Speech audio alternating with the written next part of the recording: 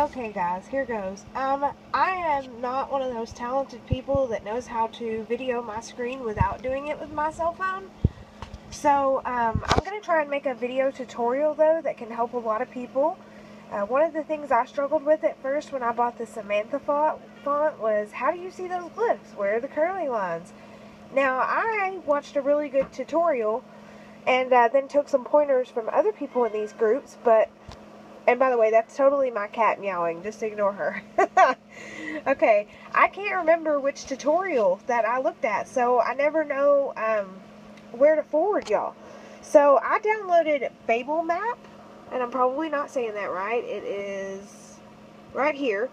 So I'm going to open up Babel Map. It's going to take a second. This tutorial is probably going to be a few minutes, but bear with me because it's going to be helpful. Alright, so here is Babel Map. So I'm going to go down here to where it says single font. And I'm going to go down and find Samantha. This is so not a good quality video, but you'll get the idea. Alright, so there's Samantha. Now when you first look at it, you're going to be like, okay, these letters still aren't fancy. So basically you have to go over here to the track and uh, you're to scroll down for like a really long time. I don't know why it's so far down. It's stupid. La la la la la la la. I really wish they would put this at the top.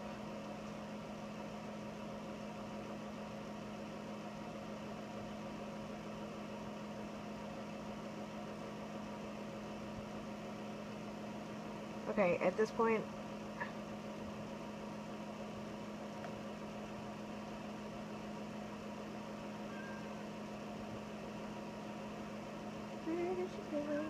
Where did you you go?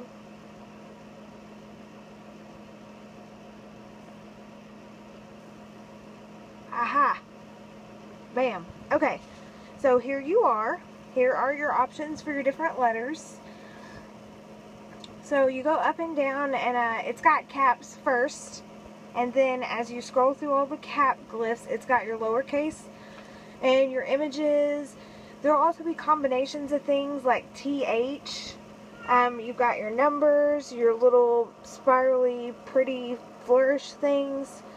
Alright, so I am going to just try and be quick about this, but...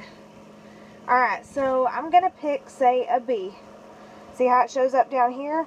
Now, the one thing I don't like is that if the flourish goes below the line, you're not going to really be able to see a good version of it. But, you know, you got to deal with it. It is what it is. So, scrolling, scrolling, R, I don't even know what word I'm trying to spell. And I don't want as fancy of a letter there, so I'll pick A. You can't use all fancy, in my opinion, because if you keep doing it, then the lines just blend into each other, and it's hard to even see what's going on. I don't know, there's a Z. Alright, you get the idea. Here is the curly Q looking thing. Now I'm going to go over here and hit copy. Now I open up Silhouette and I'm going to right click and hit paste. Oh my gosh, I have four squares. This is not what I wanted at all. It's fine. So you're going to click it. You're going to go up here to the letter A. See, A. Hit A. And then you are going to go to your Samantha font. S-A-M. And it says Samantha Upright Pro. So that's what I want. So I click it. And then now look over here. Bam. Those rectangles turned into that curly Q script that I had going on. Let me try and one-handedly expand this a little bit. There you go. Now don't forget before you cut that you're going to need to right click it and hit weld and that will make it to where um, your cut lines aren't so weirdly blended. So there it is. It's not the best quality video, but it gives you a general idea. You, you know, when you've got Babel Map open, it, I don't know why. Here, if you look, mine says like, this video is really bad. Um, E something. It looks like E8B0. I don't know. If you scroll about that far down, down the track, that's where the letters are. So that's just the way I use it. People use different programs. I'm working on Windows, obviously not a Mac, so this is what works for me. So there you go.